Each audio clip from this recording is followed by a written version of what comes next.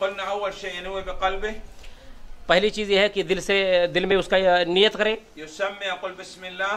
बिस्मिल्लाहिर्रहमानिर्रहीम पढ़े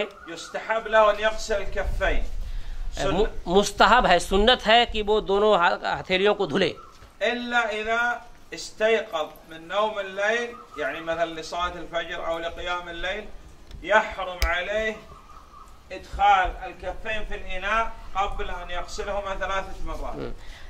लेकिन अगर वो सो करके रात रात के में सो करके उठा है तो अपना हाथ जो है बर्तन में बिल्कुल ना डाले हराम है उसके लिए यहाँ तक कि तीन मरतबा उसे हाथ धुल ले तब डाले बर्तन में।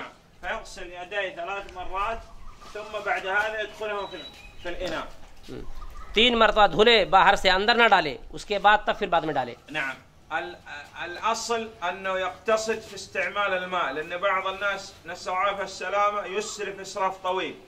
ए, नहीं, इतना पानी नहाने में या वजू करने में इसराफ से काम ना ले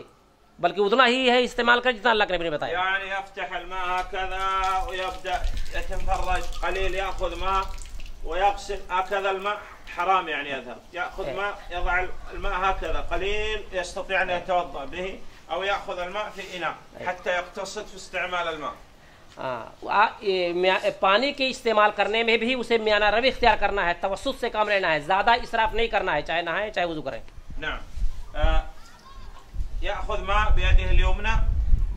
दाहिने हाथ में पानी ले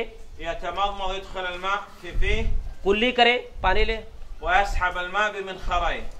और अ, नाक में पानी खींचे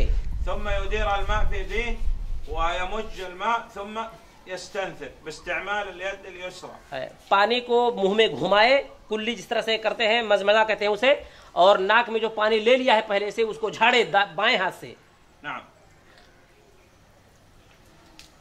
इस तरह से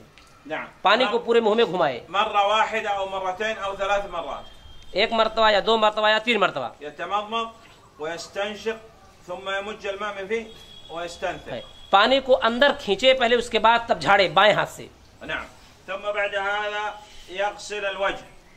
उसके बाद जो है चेहरे को धुले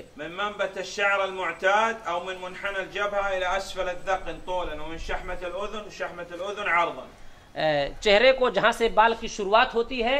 वहां से लेके नीचे जो दाढ़ी के, के तक है और कान तक कान के शुरू से जहाँ से कान होता है वहां तक ये पूरा चेहरा है सबको धुलना जरूरी है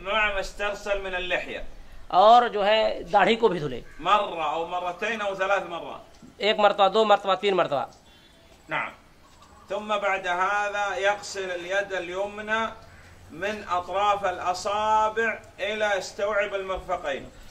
उंगलियों को लेकर के पूरा हाथ धुले कोहनी के ये साथ पूरा ये मुकम्मल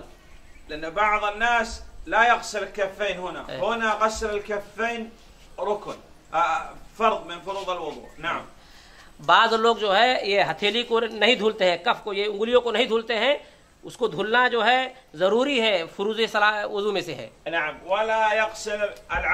हाँ, ये जो है बाजू जो है नहीं धुलना है उसे। शुरुआत जो है दाहिने हाथ से करें फिर बाएँ हाथ में।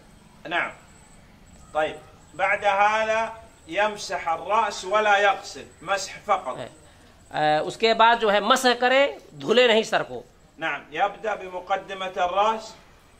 हम्म, शुरू कर कफा। है, शुरू करे बिदा- बिदायत अ, सर से शुरू सर से उसके बाद आखिर गुद्दी तक लेके जाए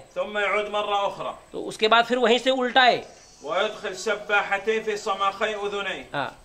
दोनों जो है उंगलियों को शबाबा वाली उंगलियां हैं इसको कान के अंदर जो है सुराख में दाखिल करे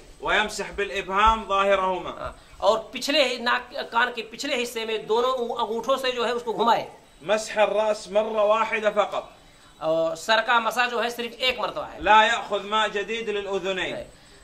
और नया पानी ना ले ए, कान के लिए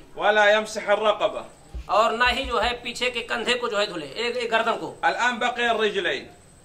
बाकी है अब जो है दोनों दोनों पैर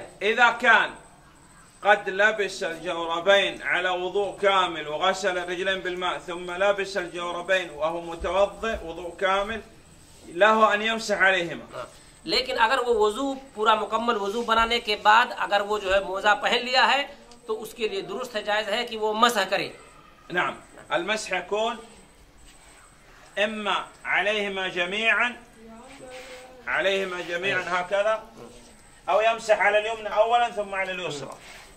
उसके लिए दो दोनों तरह से जायज है चाहे तो एक बैग जो है दोनों को मसा करे और या अगर चाहता है तो पहले दाहिने को मसा करे फिर बाएं को मसा करे दोनों तरह से जायज है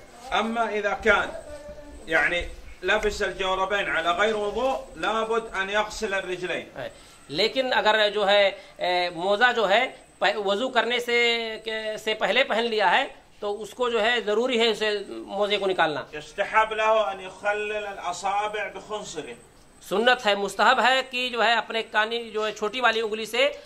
ए, पूरा उसका जो है वो खिलाल करे ताकि पानी उस उंगलियों के दरमियान पहुंच जाए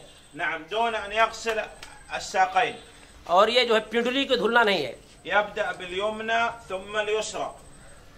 दाहिने से शुरू करे फिर बाएं को ले जाए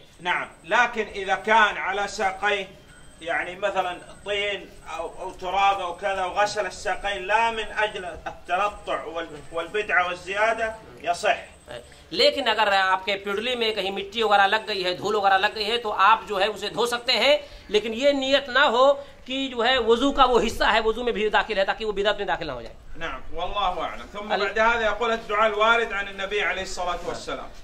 उसके बाद जो है जो अल्लाह के नबी सल्लल्लाहु अलैहि वसल्लम से दुआ वारिद है वजू के बाद उस दुआ को पढ़े